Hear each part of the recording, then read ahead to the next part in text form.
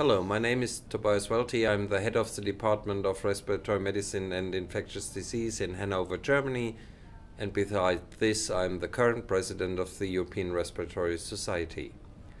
I strongly want to advertise you to come to the workshop about bronchiectasis and non-tuberculosis mycobacteria, which is presented this year in Vienna. The main reason for this is that bronchiectasis is a hot disease. It's something which had been neglected for decades and came back to the table now during the last five years.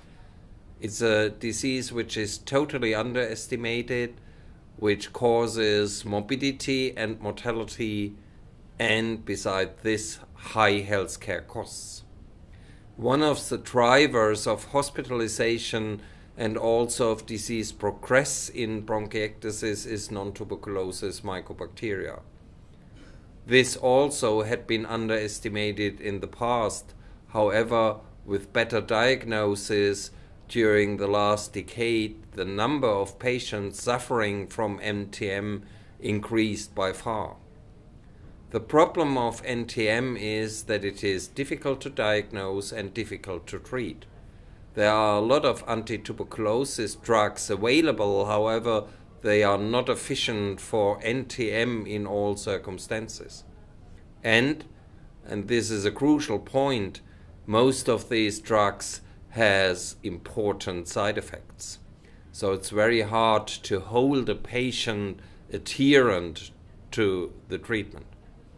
However, during the last years, a number of new drugs had been launched and are available for the treatment of non-tuberculosis mycobacteria, and there's more awareness for this disease.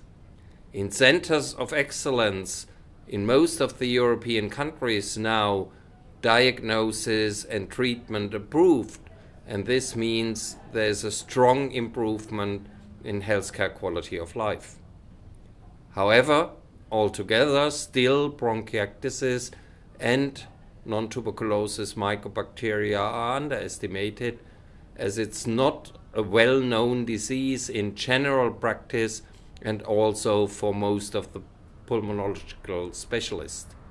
So this workshop will give you tools to diagnose these kind of diseases better and to make a more appropriate treatment for the sake of your patients.